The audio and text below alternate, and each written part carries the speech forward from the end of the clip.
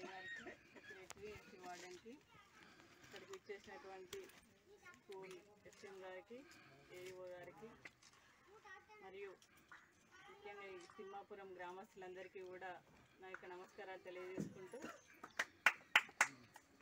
ప్రతి నెల ముప్పయో తారీఖు పౌర హక్కుల దినోత్సవం అనేది ఒక దళిత వాడలో ఏర్పాటు చేసుకోవాలని చెప్పేసి మనకు వచ్చినటువంటి ఇన్స్ట్రక్షన్ ప్రకారము ప్రతి నెల కూడా ప్రతి గ్రామంలో ఈ కార్యక్రమాన్ని పౌరవకుల దినోత్సవంగా ఏర్పాటు చేసుకుంటున్నాం మనం.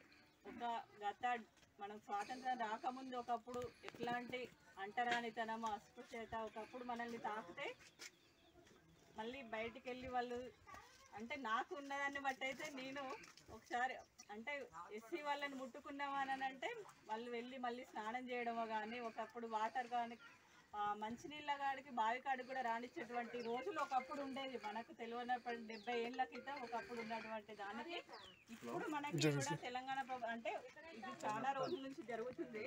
కానీ ఇప్పుడు మనం కాలనీలో ఉన్నటువంటి వాళ్ళు ఒకప్పుడు దొరతనం ఉండేది కదా గుర్తుంది కదా ఇక్కడ ఉన్న ఓల్డ్ ఏజ్ వాళ్ళు చాలా మంది ఉన్నారు.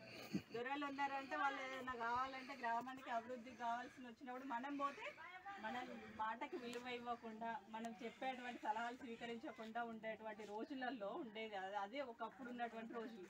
కానీ ఇప్పుడు మన కాలనీకే మనకు అవసరాలు ఏమున్నాయని చెప్పేసి అని ఆ మండలానికి సంబంధించిన ఆఫీసర్స్ అందరూ అన్ని శాఖల వంటి ఆఫీసర్స్ అందరూ కూడా మన దగ్గరికి మన కాలనీకి వచ్చి మీ గ్రామంలో మీ దళితవాడలో ఏం సమస్యలు ఉన్నాయని చెప్పేసి అని పెట్టే కార్యక్రమం యొక్క ముఖ్య ఉద్దేశము ఇది.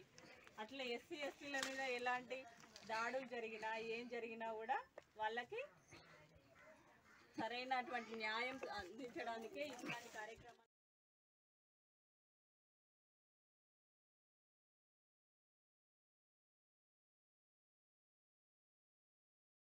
కుటుంబ బంధాలు భగవంతుడు నిర్ణయిస్తే స్నేహ బంధాన్ని మనమే ఎంచుకుంటాం. దేవుడు నిర్ణయించిన కాలమేదైనా రైతు ఎంపిక మాత్రం డైస్ ఫార్ ట్రాక్టర్ వెంకి మామ సంకల్పానికి అల్లుడి బలం తోడై రైతు కష్టానికి డాయస్ ఫార్ సామర్థ్యం తోడైతే ప్రతి ఇంట బంగారు పంట. వెంకి మామ దూకుడికి దమ్మున్న ట్రాక్టర్ డాయస్ ఫార్. కుటుంబ బంధాలు భగవంతుడు